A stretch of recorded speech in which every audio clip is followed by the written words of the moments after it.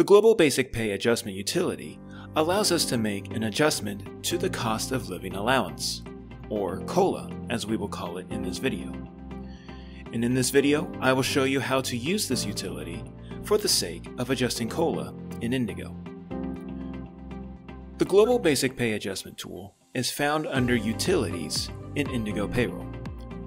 In the page, you will find your active employees on the left side of the screen, and a sidebar on the right side with some options for basic pay adjustments. If you want all employees in your system to receive the adjustment, you can leave all boxes unticked. If you want to choose particular employees, tick the boxes next to their names.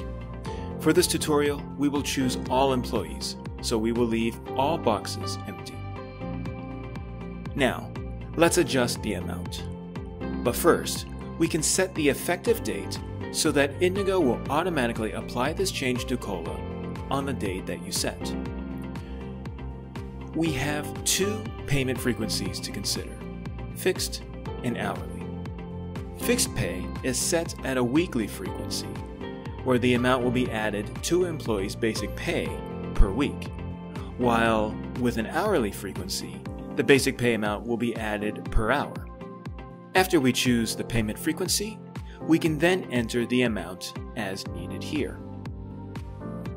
Now, we want the new COLA rate to become effective after the date which we set.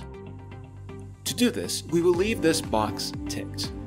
This will tell Indigo to update all basic pay for your employees in your system of that set date above. Please note that this will affect other future basic pay adjustments as well. When you're ready, click Generate at the bottom of the page, and then click Yes in the confirmation pop-up. You can review all changes to Global Basic Pay adjustments in Indigo by clicking on Audit. This page shows you historical changes to basic pay in your system.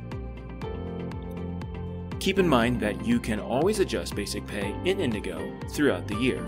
For example, you can use this utility when employees receive a raise. And this is how you can adjust COLA rates in your Indigo system. Thanks for watching, and we'll see you in another video.